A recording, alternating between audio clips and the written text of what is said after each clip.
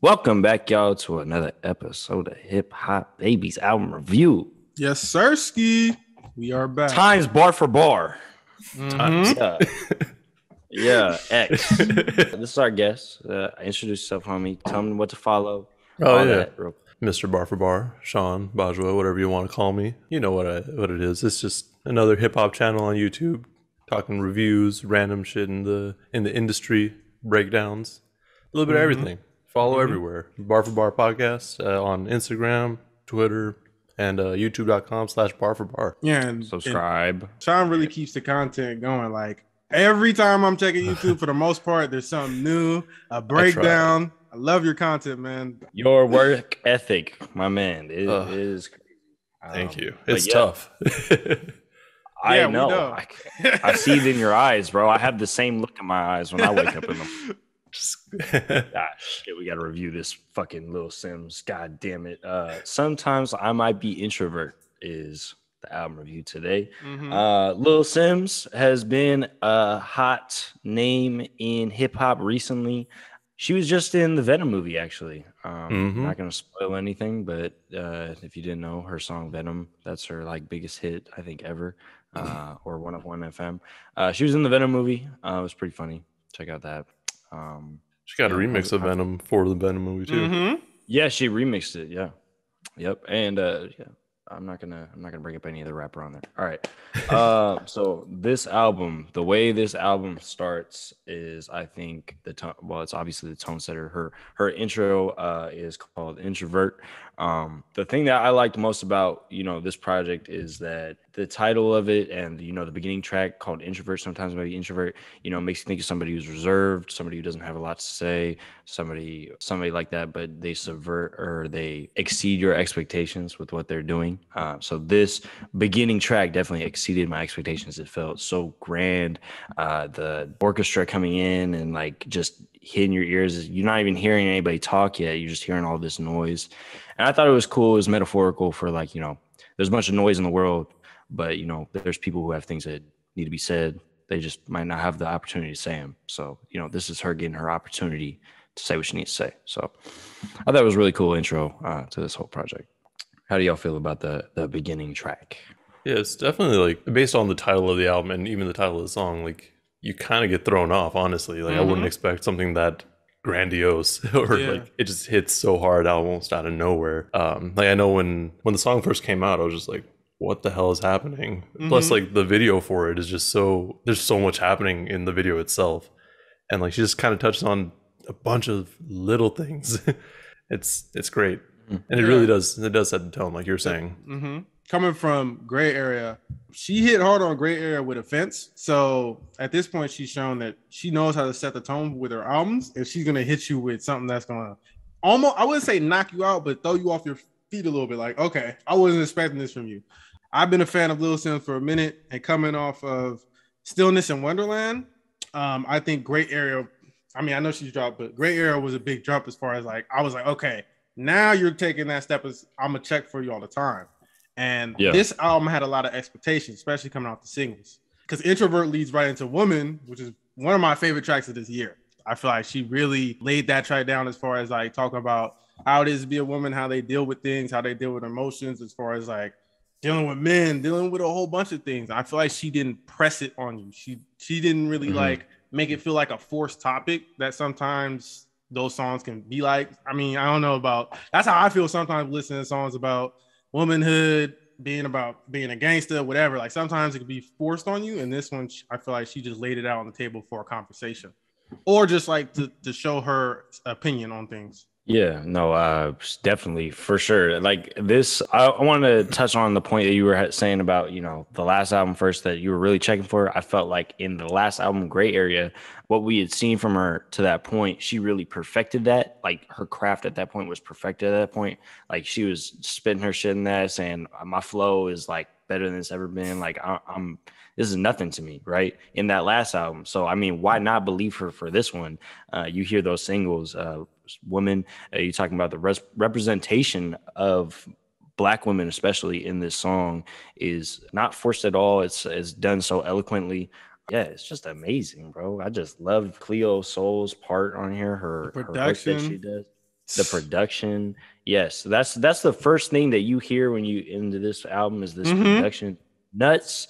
Her flows are changing, Mhm. and she's gotten some beautiful voices already on this project. Like two tracks it Yeah, it's way more grand. It felt way more thought out than um Gray Area because Gray Area just I, I, the Gray Area felt that out, but to me at least, I really was drawn into her rapping. Some of some of like the beat breakdowns. With this one, it was more about the theme. It was more about the flow of the album. Almost, she almost went more into her. I mean, she's always been a good songwriter to me, but I feel like the way she made these songs flow, even with the interludes with the, the themes of the tracks, like woman, point and kill, the way she changed things up, but it still felt cohesive was amazing to me.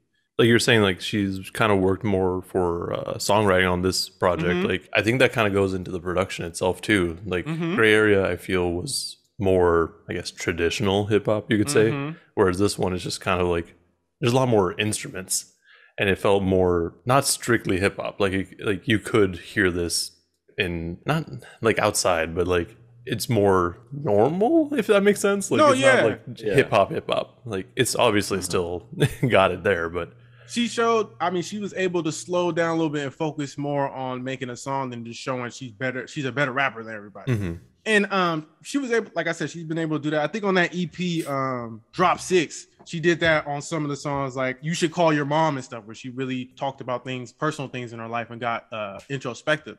She she did that on Gray Area, you know, on songs like "Selfish," "101 uh, FM," "Pressure." But I feel like on here, she was able to do it on just about. I wouldn't say just about her, but she able she was able to like paint the picture for everybody not just her, Yeah. but just like about being a woman, about being in certain areas, about uh, she just she made it all It's- connect, and I was blown away throughout this album. Like speed, It, standing it feels like it feels like almost like a movie, right? Where Yes. it's like really thematic, Grand. And, yeah, that's especially yeah, it's so Mhm. grand. It's so based in themes, and uh, you know, you got all these interludes. Even though I don't really appreciate interludes that much, um, they're kind of boring. But you know, these ones they had some things to say every now and then, and uh, like probably my favorite one was the rapper that came to tea was probably my favorite interlude out of all of mm-hmm. them. Keep storytelling throughout this whole thing, and you were saying the seamless transition. That's what we look for in hip hop. Usually, like when people are like rapping, right? You want you want a seamless transition to the next topic. She's doing that with the album list. Like you went from introvert, her as a person, to woman, her as a person, but in a different like category. Then she goes into Two Worlds Apart, which is about you know two different people, uh, and I love you, I hate you. Uh, I love. Two Yep, Worlds that's a highlight. Woo. the, Mhm. the, the transition into those two, like from those back to back, like it's crazy, man. Um, you know, just talking about relationship struggles, Mhm. um, toxic, toxic relationships, dealing with that in her life. Um, yeah, uh, I mean, you know- intense, intense emotions. Of, Yeah. of love. you know, at the end, she connects it back to her father, and she basically, you know, you could hear it throughout the song how she's talking about that dynamic, like. Sometimes I love you, sometimes you're there for me. And even looking at other men, like sometimes they're there for me, but at the end of the day, someone might just say that's a track about her daddy issues. And I hate when people do that because she really went into it and the beat, everything, the way she started speeding up and started really going into it at the end, she's like, Dad, like I was like, that was awesome. Like I, I feel like she doesn't she doesn't have to tell you like at the end she kind of get you know you you know it just by hearing the lyrics you listen to her bars you kind of get the picture right and you could you could uh, Mhm. interpret it multiple ways but she's really good at you know double entendres all that but really you could take the tracks how you want them but she's going to eventually tell you what they really are about or give you the ultimate hint and i feel like she's really good at doing that as well i don't know about y'all i know how people are with hip-hop like they expect a certain thing or you know certain people only blow up but like she she deserves a lot more praise than she's getting as far as like other people talking about her i know we can't control that but it sucks I think part of that comes down to her being a UK artist too. Like, Yep. People around here don't really Yep. listen to UK artists, unfortunately. Yeah, and like songs like Rolling Stone and stuff like that, and even other songs on this album, her accent comes off, and some people are instantly turned off by that, and some people are turned off by her topics because they talk about things that go on, like some of her slang, you know, all that is tone it down to accommodate other people, Yeah. and I love that as well.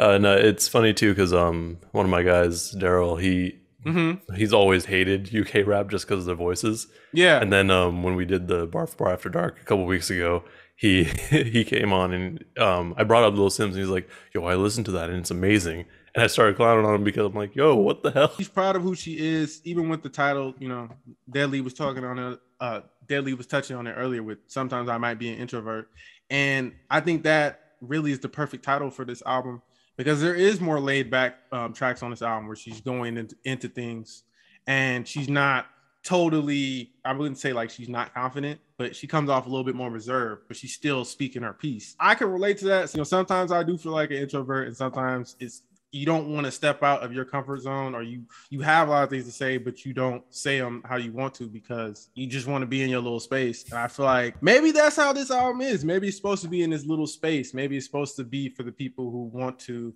search for it and find really awesome music because she deserves all the praise she's getting and more because i don't hear anyone making i'm like this is one of the better albums this year. Who's made who's made an album anywhere close to this? I, Yeah. I mean, it's crazy. And I liked what you were talking about earlier when you were saying people don't really like the UK side or whatever. Uh, I feel like this one is less, like way less UK than the last one. The last one felt Oh. reminds me more of like the influences of like of UK. This one just feels like this is her, bro, like entirely, like completely diverted from anything that had to do with like Yeah. anything drill.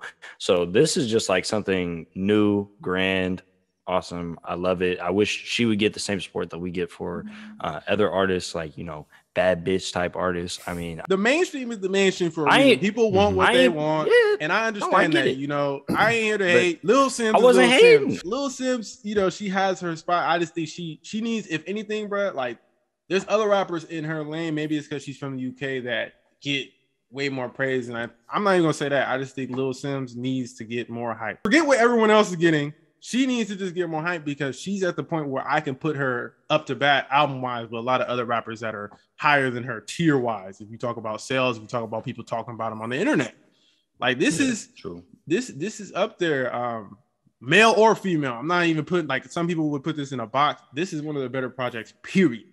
Um, this, like I don't really get I get excited for albums sometimes, and I build hype for albums. Like with this, I was expecting a lot, and I got more, if not what I was expecting.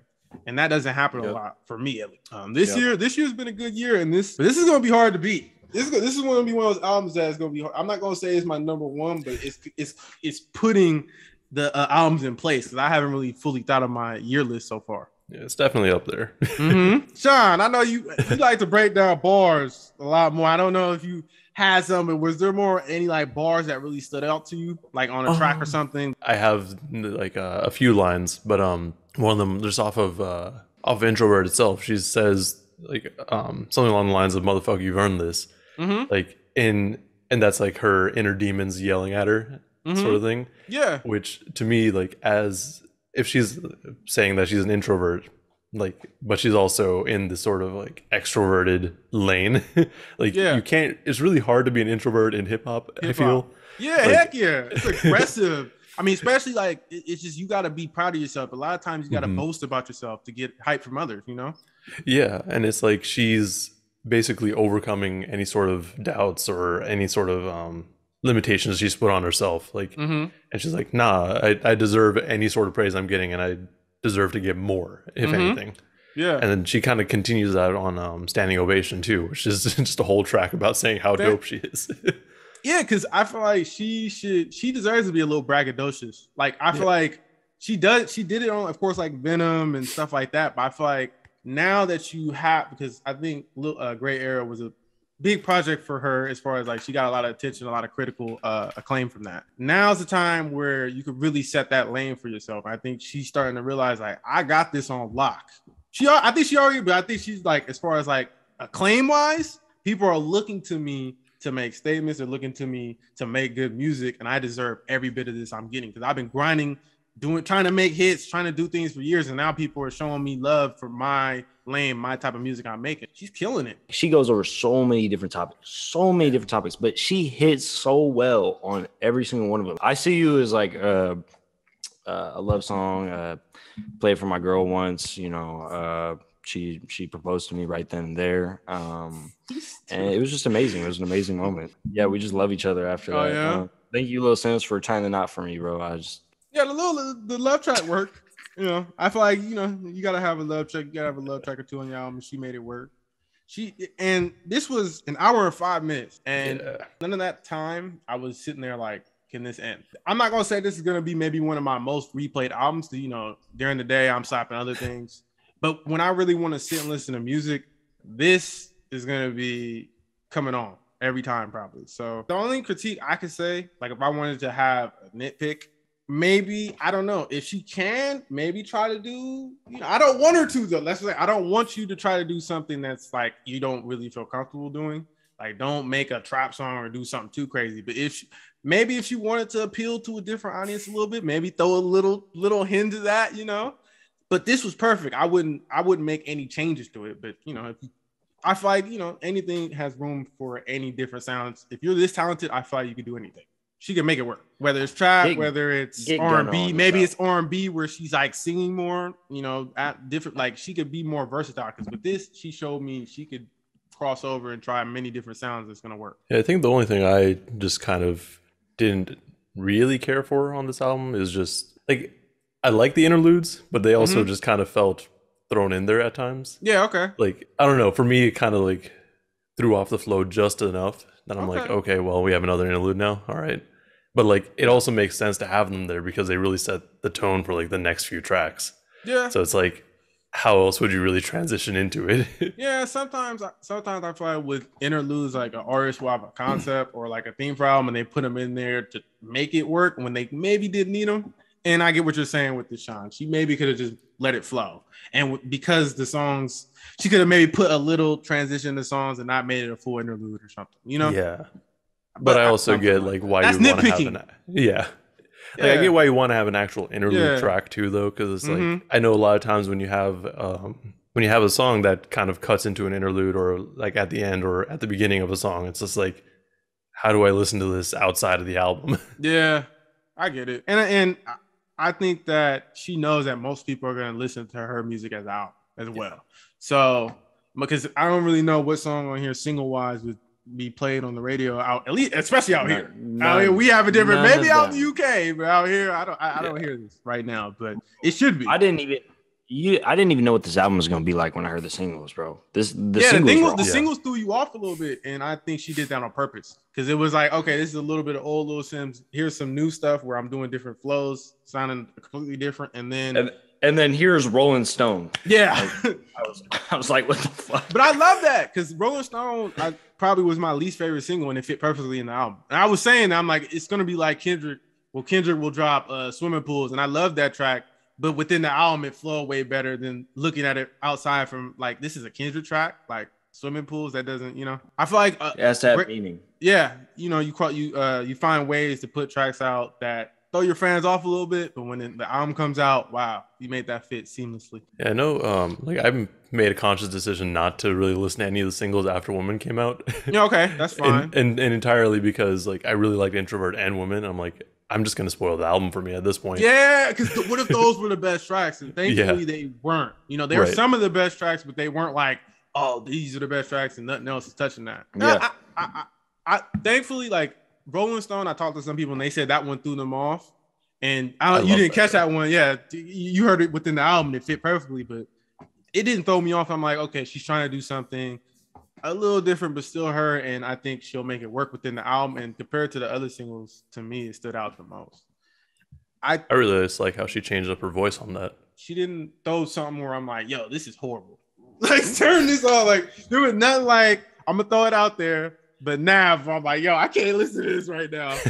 Everything Oh was like, okay, you try something different. It might not hit as much as you're doing your regular thing, but I like that you tried that because maybe you can expand. And it it, mm-hmm. def- it it can help the song still. I love that one. I love the the track that comes after "Protect My Energy." I feel like that's one of the songs that can definitely be put on like uh, one of these Spotify playlists and shit, Mm. and just being put on repeat because, yeah, like who doesn't want to hear a song about protecting your own energy and like all this? I feel like energy is such a such a big trendy topic anyways nowadays like she was hitting on some topics that like people really do be buzzing about and uh but she wasn't coming off corny or anything No. right? like, it was- Corny or like, it was just nope. it was it was genuine the entire time so what's really going to come down to it is these algorithms pushing Lil Simz' project into the next step uh, because I don't know how uh, like the culture is going to find it on their own without stuff like that or how uh, Word, I think word of mouth. I just think more people gotta try to put because whenever I show people Little Simz, unless they don't, for the most part, like uh UK music for some reason, like usually they're like, okay, I can see this. You know, it's just they might not have heard of her. You just gotta try to put people on. She doesn't get a lot, and I think a part of that is maybe she is kind of introverted, so she doesn't do what other artists do as far as like building hype. And you know, a lot of artists in her lane, as far as the kind of underground, but you know, people know about them. They're not gonna do stunts and stuff to get hype. But she could maybe do a little bit more. I don't know what. It's hard. It's hard. I, you know, we do it. We doing a Well, I mean- podcast, and we got to promote ourselves. And you know, you got to find ways to make people attached to you emotionally. I think this album she could do that. There was a lot of emotional tuggers, a lot of songs that I could I could relate to, and I really felt like I know Lil Simz more as an artist. You know, Yeah, I mean, I have Spotify pulled up right now, and I guess she's on a few um, of Spotify's playlists. So yeah, she gets some love. Oh, that's how people find them. That, I was gonna say that's how people find artists nowadays is like they Playlist, look on playlists playlist. Yeah. on. So yeah, go you ahead. got people like uh, Fantano. did y'all have any like? Did y'all have like three favorite tracks? Y'all give me top three, maybe? No. Point and kill. We didn't even get to talk about it yet. Point and kill is definitely one of my favorites. Point point and kill's got uh, is crazy. I've never heard of uh Obang Obang Jayar Jayar Obongjayar. No, I I've never know. heard of dude either. Yeah. He's but he's apparently from the UK. He's a Nigerian, uh, UK born, uh, and he's R and B artist. It didn't really sound like R and B to me, but like whatever he was doing, bro, shit was working. That I was Mhm. feeling that. I was feeling that. If I want it, it's mine. That was Yes. soulful. Want it, I'm gonna go get it. Like Mhm. for real. Misunderstood is also one of my favorite ones. Um, that one's got like my favorite sample in the whole project. Uh, I'd be catching myself singing that 24 seven. It's just Yeah, so it was an fucking- awesome closer. She started Mhm. great and ended great. I think Protect My Energy was my last favorite. That little Okay. club club dance banger type Okay. shit, you know. I'll go. Um, Okay. I mean, it, it's going to change up a bit, but I think, I mean, introvert, like it just, just having the orchestra and like all the instruments come in like so hard before she even starts rapping, like that always gets me. Yeah. Mm-hmm. Um, and then I love you, I hate you. Like the Mhm. hook just keeps getting stuck in my head. like I Mhm. was, I was listening to Yep. it again like last night or the album last night, and I'm like, damn, this is just gonna be stuck in my head all day, isn't it? Yeah. I was stuck Um, in my head for weeks. Yeah. And then I don't know between, I'm kind of between like Rolling Stone and Point and Kill. Okay. because Point and Kill is like it's just a vibe, but then Rolling Stone like just the way she switches up her voice like like that gets me too. mm-hmm. Um, for me, um, I love you, I hate you. Um, I was replaying that single a bunch when it dropped. Loved how it fit in the album. I love Point and Kill. I love the video of Point and Kill a lot too. That was a smooth video. And then uh, Misunderstood. I love the closer on the album. I feel like that was a perfect closer. That's my three. You know, she she did go into her R and B bag a little bit. Now that I She think did, about it, yeah, she did. That's talking about it. I think she can you know, get more into when she that. get when she starts the the verse on Point and Kill, bro. The way she comes in on that is smooth. She could. I think she Smooth. could really do it if she really like made a song, like a few songs like that. I feel like if there was something that could maybe make her appeal uh, to more people. Sometimes people like when uh, artists get into that R and B mix vibe. So she could do that. Point and Kill kind of had that smooth. It wasn't totally like that, but it had that smooth vibe. Get her on an R and B track with Jid. Jid, Jid could Yeah, do it too. Jid be be- singing too. Yes, wild. he could do it. It would be wild. Atlanta, UK crossover, please, please. Yeah, I would love it if more um artists from out here would collaborate with her. If she wants that, I don't know. You know, if, if not on her album, maybe for songs, singles, get guest verse from her. I would love to hear her more on other people's work. If Right, she's is spit like, I feel like she would kill a lot of people's uh, guest spots. If people would fit her on their album, it would work. Let's get UK features that aren't Skepta and Stormzy. Yeah, switch it up. Yeah, switch it up, man. Like, I yeah, we- I want to hear more voices voices from the UK. Slowthai too. Yeah. It's only two features. Um, she did better than J Cole this time. Feature, feature for feature matchup. No, stop it, stop it. Don't do this. All right, y'all. That concludes this episode. Uh, if you didn't already, you, you hit that little button down there. You see it says subscribe. It's red. It should be white. Mhm. Um, hit the bell. That should Mhm. be gray, and uh, hit the like button. That should be blue. Yeah, that's how that's how it goes. Uh, shout out our guest Shaan Barf Bar. Uh, check him out. Uh, he's talked about it so much it's nauseating. Um, but you know, Thank you for having me. of course, Yeah, everything hip hop babies related will be linked down below. Bar for bar will be linked down below as well if you want to tap in, of course. Um, we're gonna have more collabs hopefully to come. That's all we gotta say about this little Simz. Peace out. Peace. anything is possible. Yes, sir.